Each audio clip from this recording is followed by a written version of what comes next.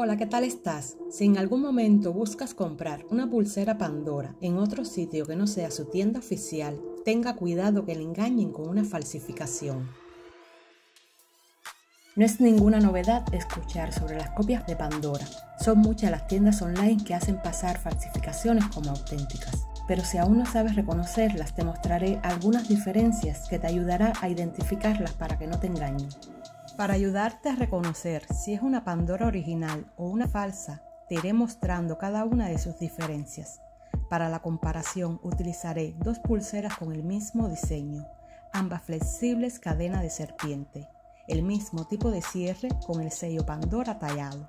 Una es auténtica de la tienda oficial Pandora y la otra es una copia falsa que ni siquiera es de plata, solo está chapada en plata.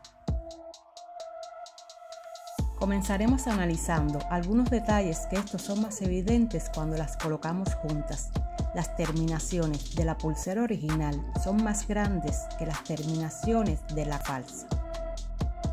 El escamado de la Pandora original tiene más inclinación y son más cerrados. Ese acabado le hace que sea más rígida que la falsa, por lo que si la doblamos forma una circunferencia perfecta, algo que no sucede con la falsa y aunque este detalle lo han ido mejorando, aún no han podido copiar la perfección de la Pandora original.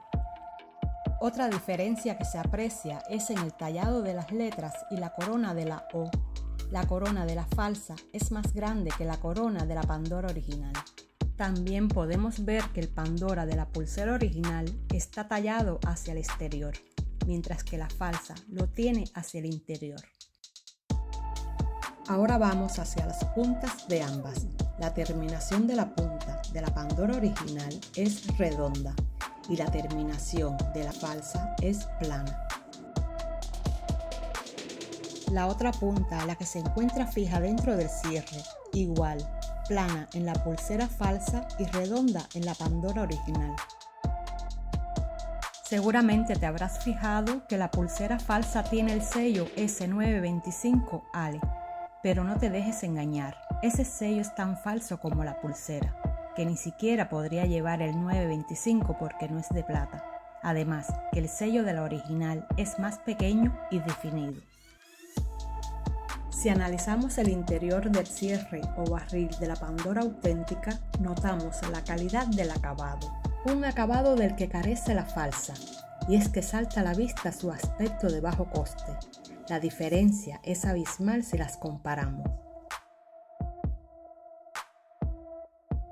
Ahora que ya has visto las diferencias y los defectos que tiene la falsa, no te podrán engañar, porque ni siquiera necesitarás de una original para comparar.